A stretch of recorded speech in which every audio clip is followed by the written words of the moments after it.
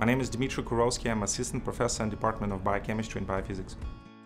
In my laboratory, we try to understand the role of lipids and the extent to which lipids alter the structure of protein aggregates, the aggregates that are directly linked to the onset and the spread of neurodegeneration in the brain. That include several severe pathologies such as Alzheimer and Parkinson disease.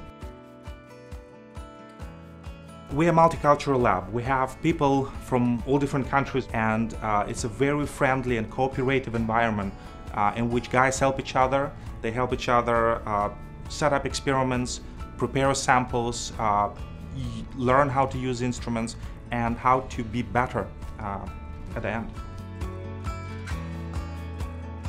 Many people uh, seek industrial careers and of course not that many faculty, uh, faculty members can advise them what is industry and my expertise allows to tell them how the grass looks from other side of the fence and how to get these industrial jobs.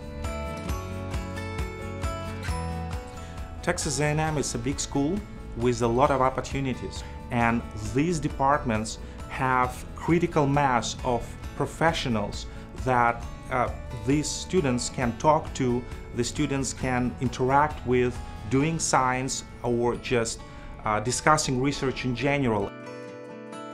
Everyone is going to try to help you reach your goals, no matter what. Like, if you need help, you can go to a professor, you can ask, and they will help you. And they're not only going to help you, but they're going to help you learn more skills than you thought you could learn.